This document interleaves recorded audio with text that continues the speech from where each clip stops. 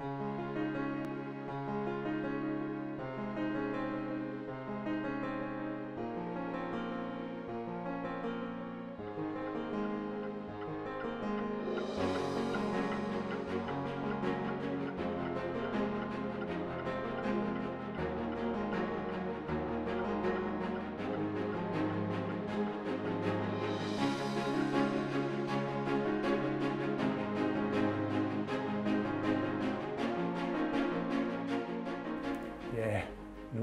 synes jeg, min, eller mine knæ synes, at jeg er ikke så god til at slæve tunge ting mere. Mm.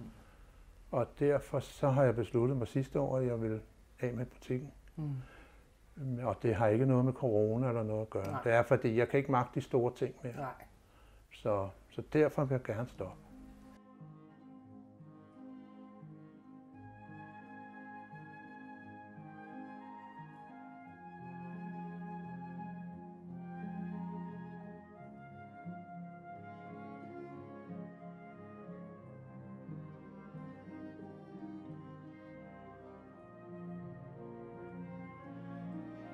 Men du har jo overtaget en meget historisk forretning her. Ja, ja, det må jeg sige. Hvad, hvordan kom det egentlig i stand? Jamen, det kom jo i stand, sådan at vi var jo to øh, svend, lærlinge, svende, Mm-hmm. som øh, havde fundet ud af, da vi blev 30, at nu skulle vi skulle prøve at blive selvstændige. Mm-hmm. Og så fandt vi nogle butikker ude på Amager, Mm-hmm. øh, og det var vi lige ved at slå til på. Men min kompagnon dengang, som øh, kørte med rammelister, han kom hen hos Krampauer og fandt ud af, at den her butik, den ville han gerne afstå. Og hvem var det? Øh, var det Kai? Han, det er Kai, der har Det var, startet? det var Kai, jamen Kai Krampauer, ja, Ja. ja. men uh, der er sådan lidt usikkerhed på det. Det er sønnen til Krampauer. Han, det er ham Kai, der var her før, før mig. Okay. Og der har Så været, det var altså ham, moren, så med? moren har også haft, hans mor Ja. har haft med og faren, og det er så helt tilbage, at de har startet der i 1910, ikke? Det har Så- ikke været Kai. Så ham, du har overtaget forretningen? Det er Kai fra, Krampauer og hans kone, ja. Er det en søn? Det er en søn til ham, der startede Ja. det her. Okay. Ja. Så det var anden generation, du overtog Ja. fra. Ja, det er. Så man, i går så kan man sige, at du er tredje generation. Ja, ja. Fordi hans søn var skolelærer, så han ville ikke overtage. Nej. Og forretningen, siger du, er blevet etableret i 1910. 1910. Det er jo Ja. helt fantastisk. Ja, det er det. Og vi skriver 2021 nu. Ja, Så Mhm. det er jo en meget historisk forretning. det er det. Og jeg ved ikke, hvordan interiøret her, er det nogenlunde, som det var fra start? Det er, øh, altså alt det her, det kan jeg ikke se andet Kramphav, fordi der står på tegningerne, at der i 1895 har der været grønhandler. Nå. Men altså, jeg kan ikke se en grønhandler bruge Nej. alle de skuffer. Nej. Altså, jeg går ud fra Kramphav for installeret, men jeg ved det ikke. Nej. Vi har lavet diskene om, og, Ja. og da vi overtog, der min far han var sneker, Mm. og der var der ligesom, der sidder sådan noget finer på væggene, og det er jo ikke kønt, men den gjorde man dengang. Mm. Og det satte de også hernede på, foran hernede. Der sad også sådan noget. Ja. Og så de der, der sidder sådan nogle lodder, det må, må vi jo finde ud af. Ja. Der sidder sådan nogle, det, så sad en tilbage herinde, Mm-hmm. og det konstruerede min far, så det hele er ført tilbage, som det så ud dengang. Så det har jeg Men der er meget, der tyder på, at det der det er født i forretningen. Jamen det, det er i hvert fald Kramphaus. Ja. ja. Det er det. Men hvad ved du om den familie? Oh, jeg ved jo ikke så meget. Fordi vi var Og hvorfor kun... ville sønnen? Var, det også på grund af alder? Nej, søn, det var altså på grund af, at han var, han var læger. Han ville ikke have det. Han havde slet ikke noget med det at gøre. Nå. Da jeg kom her, der havde de en svend, som øh, heller ikke ville mere. Og han kom over og blev pedel over på Frederik Barfods skole på Koksvej. Mm-hmm. Og så han ville ikke være glarmester mere. Og så kom vi ind i billedet og var heldige at overtage det. Fordi Ved vi du, var nogle gammel- raske gutter. Ved du, hvor gammel den gamle far var, eller blev? Uh, det ved jeg ikke. Nej, Det, kan, jeg- det ved jeg ikke noget om. nej. Vi har nået ikke at være sammen med dem så længe. Jeg gik i 14 dage sammen med Kramphav i august måned der, men så døde han jo allerede den 21. december. Så- Faren. Faren, altså Ja. Kai Kramphav. Hvor gammel blev han? Vil du tro? Åh, oh, gammel. Vi, det, det, 80'erne, eller nej, han blev 76, tror jeg nok. Nå, Han havde fået dårlige knæ også, og dårlig væg. Ja. Så det var sådan noget, der var 67. Nu bliver jeg sgu i tvivl. Det godt, jeg kun var 67, han blev. Så sådan noget tror jeg nok, det var. For Mhm. han var ikke så gammel alligevel. men havde han et lige så stort sortiment, som du har her? Jamen, øh, alt det, der hænger over på væggen der, det er købt ind til forretning i 1923 i Berlin. Det er resterne af sådan noget, de har købt ind. Og sådan har det været, det har ligget på lager ude, det gør det, har vi ikke mere. Men der i skufferne, der har altså ligget alle mulige ting, og bliver, har solgt meget, men vi har ikke kunne sælge det hele. Så det har, der har været rigtig meget for det, også inde på hylderne. Så vi har også har haft, i virkeligheden slet ikke fornyet noget? jo, det har vi da. Vi har da haft meget øh, nye rammer her, men Ja. ja. der er også meget af det gamle, der er her endnu. Ja, det er jo det. Jo, jo, vi har haft masser af nye rammer. Det er Nå, selvfølgelig. men har jeg, vi jeg tænker bare på, altså, der var så mange, sådan et stort udvalg, som der er nu. Ja, men det, det har Ja. der været hele tiden. Ja. Og så øh, det, der er sket i dag med sådan noget som fotorammer, sådan noget, det er jo overgået meget til fotograferne, foto, fotoforretninger og det, ikke? Ja.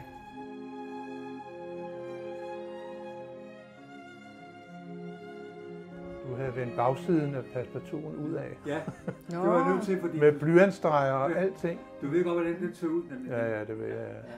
Ja. Så så for at lave den her. Det er sådan noget, der er sjovt at få lov at hjælpe folk. ja, det er dejligt. Ja, der var sådan med vandskader og sådan Ja, det var helt omkring. Men øh, jeg kom til at holde af den, da jeg fandt den op på loftet. Jamen, det er da klart. Så der er kommet et nyt perspektiv. der er kommet nye passeparturer og lige ordnet og sådan noget på øh, det. den er sådan helt krøllet og med, Ja, ja, med ja, tegninger ja. på. Og jeg fandt ud af, at det var altså en, som øh, jeg godt kunne gemme på ham. Ja, han er, Ja, ja, han er, det ser er også sådan ud. Ja, okay. Han lavede i Cuba. Ja, ja. Sådan noget er sjovt at få lov at lave for folk, at de bliver Det er glade. jeg også glad for. Det er jo det. Det kommer jeg til at savne. Det kan jeg godt forstå. Det savner jeg at få Det er en lov. sjov opgave, ikke? Ja, for det er ikke derfor, jeg går. Det er, Ja. for jeg har altid været glad for at være her. Ja. Jeg havde sagt til min kone, at jeg selv ville lave, men så Ja, kigger hun på ja. mig. Jeg tror også, det er svært at komme efter det arbejde der. Ja. Der var også noget med din facade. Øh, ejendommen her skulle øh, renoveres. Ja. Hvad skete der egentlig der? For det var jo Jamen- meget historisk, hvad der var. Jamen, det var jo i 2007. Ja. Og der fik jeg at vide, at nu skulle man have stillads på hele ejendommen, og det hele skulle renoveres. Og det skulle pilles ned, hele facaden og alting, og det skulle nok komme op igen og det hele. Ikke? Mm. Øh, og det korte og lange med det, fem måneder efter, da det hele var ved at være færdigt, så havde jeg jo lys ude. Jeg havde lys ude med Frederiksberg og da jeg kom ind i forretningen om morgenen, så havde man hugget kablet til mit lys over med stemmejern. Og sådan, der fik jeg faktisk først at vide, at de ville sgu ikke have min facade på mere. Og det blev jeg temmelig både meget vred og chokeret over. Gik til borgmester og alt muligt, men der var jo ikke rigtig noget at gøre. Og så tænkte jeg, hvad gør jeg så? Så ringede jeg til Frilandsmuseet og spurgte, om det var noget for dem derude. Og det var det ikke, og de sagde, at, at Det synes jeg, det var øh, virkelig godt tænkt. jamen, jeg kunne da ikke nænde at smide alt det ud. Ja, det var jo gemt det hele, for det skulle sættes Ja. op igen, ikke? Ja. Og så tænkte jeg, hvad gør jeg så? Så siger hun derude, eller dem, jeg snakker med, prøv at ringe til den gamle by i Aarhus, for de er ved at lave noget nyt derovre. Og øh, så sendte jeg billede til dem, Mhm. som de bad om. Jeg ringede der, så øh, gik der to dage. Har du alt det der? Så jamen det har jeg da. Mhm. Vi vil have det hele. Så kom de med et flyttefirma hele Mulvitten og hentede det. Og Ej, det er så kvittet frit. det var, det var foræring til dem, Ja. ja. ja, ja.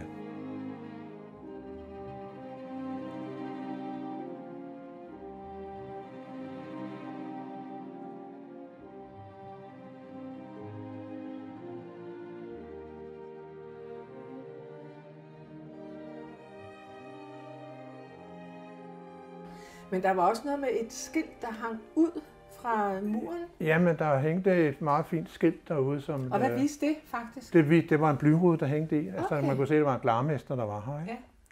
Og øh, det ville jeg jo selvfølgelig gerne... Øh, det fortalte de for derovre. Men de var jo så snu i den gamle by i Aarhus, så de gik jo simpelthen til glarmesterlaget Mm-hmm. og spurgte, om ikke det var noget for dem, og betalte det til dem. Og det gjorde de så. Ja. Så de fik hele, hele mulvitten. Men det er kommet i gode hænder. Det er Det er aller, rigtig gode hænder. Og alt det, jeg finder af sjove ting i øjeblikket, når vi pakker sammen, det sender vi til den gamle by. Det er så Ja. fornuftigt. Og det, øh, det tager de imod. Ja. Og også en fin blyrude, jeg har derinde, den får de også derovre. Mm.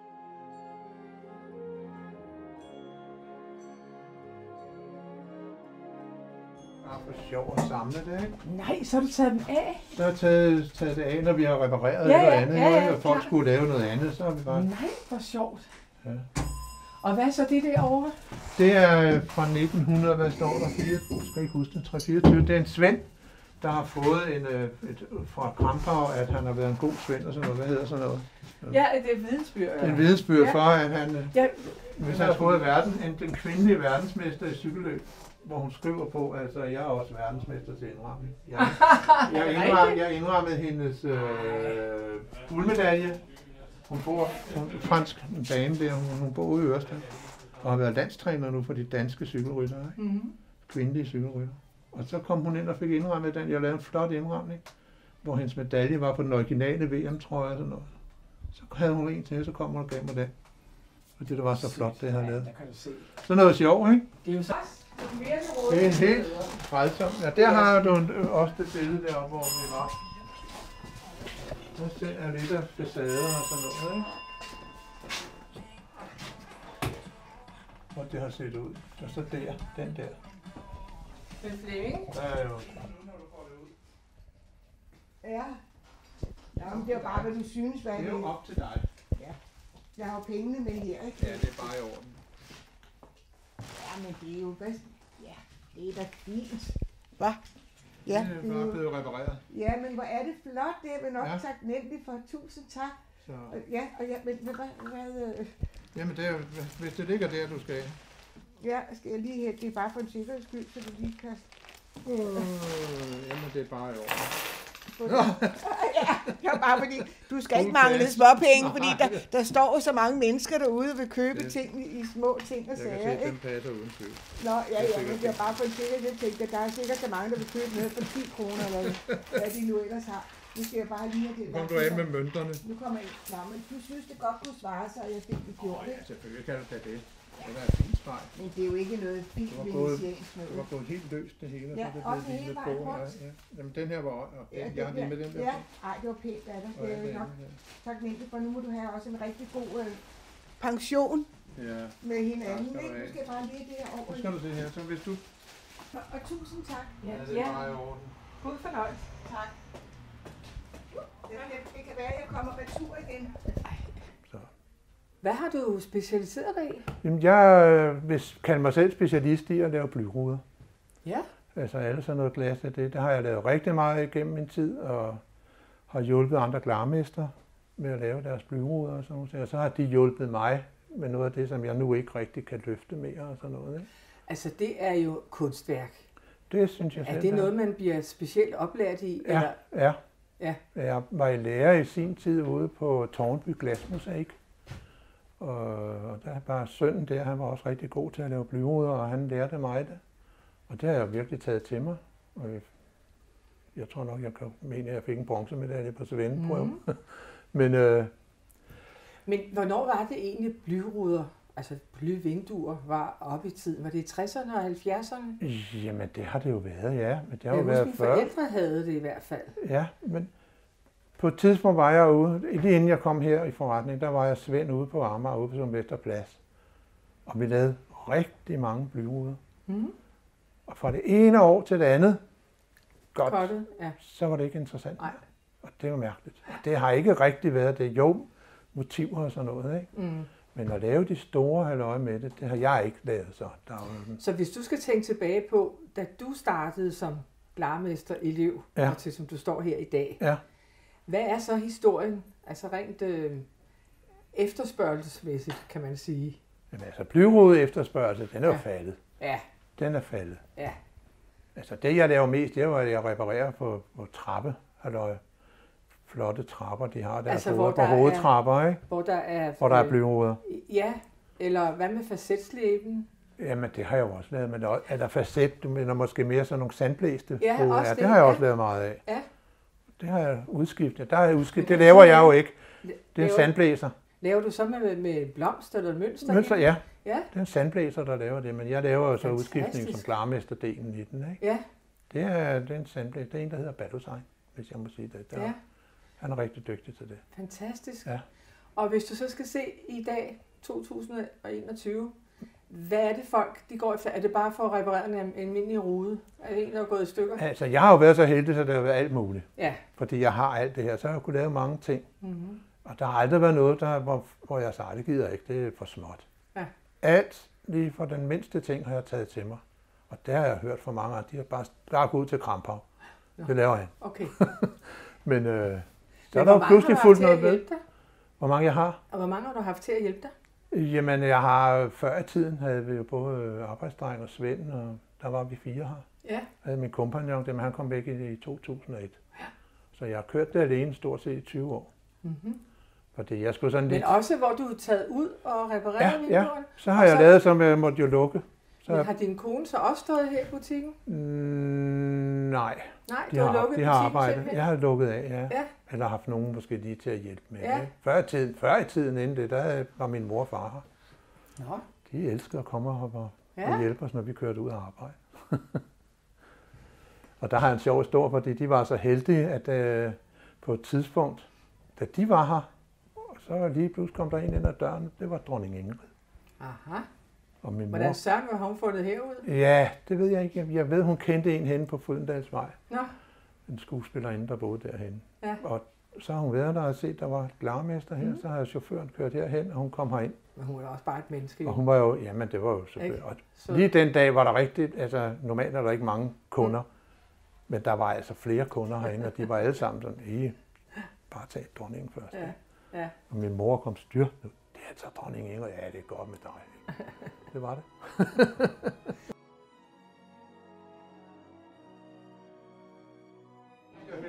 Jeg har, øh, så der er sådan noget som det der, men... Øh, det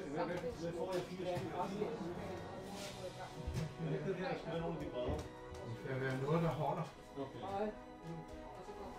Er du på det? Ja. Det er godt. Hej. Hej. Jeg lukker.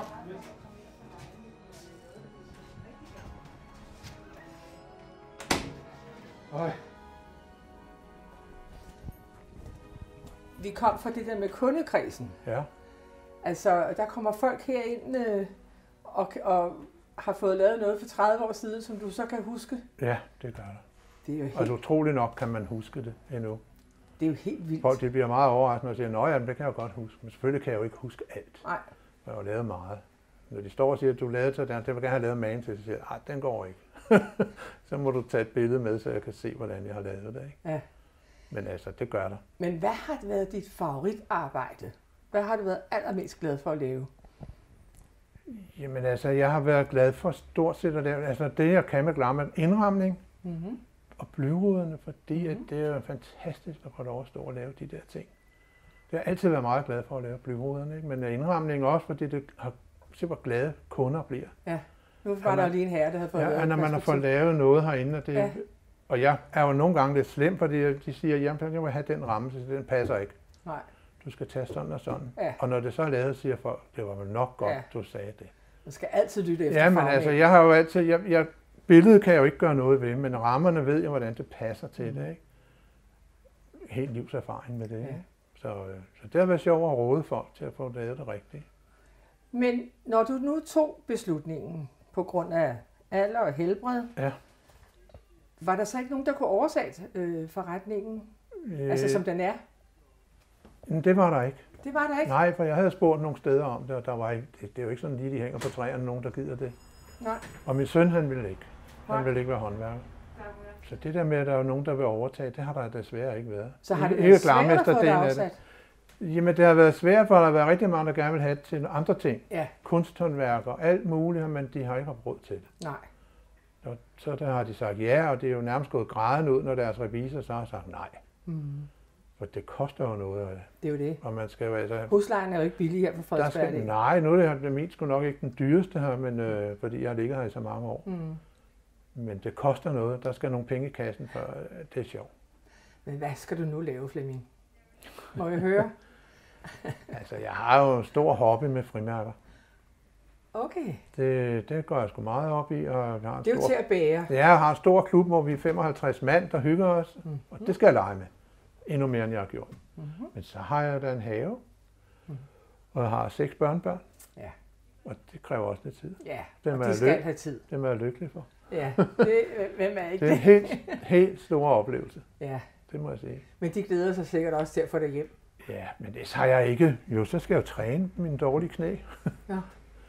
Det skal jeg jo også lave. Det var jo til hver onsdag træner. Men du nævnte sådan lidt, at øh, folk de har fået kløerne lidt i dig, om du kunne tænke dig at at hjælpe et par timer og sådan noget. Jamen, det jeg har jo en glarmester, som jeg hjælper, og han hjælper mig, men han vil jo også gerne have, at at jeg kommer over og arbejder lidt for dem. Mm-hmm. Men det ved jeg ikke rigtigt nu. Nej, Det, nu vil jeg gerne have lov at holde op. ja, nu kommer sommeren. Ja, det håber vi, at det bliver Ja. en god sommer. Ja, så, så man skal også lige finde sine ben og stå på, hvad er det egentlig. Det er helt sikkert. det kan være, at du siger, nej, arbejde, nej tak, eller Ja. ej, et par timer ja, jeg godt. Ja, jamen det ved jeg ikke. Nej. Det vil tiden vise, hvordan det rammer mig. Men nu er I så ved at pakke alt det her ned, Ja, og der er altså meget. nej, der er rigtig meget. Der er rigtig meget. Men der er også meget, jeg har gemt på.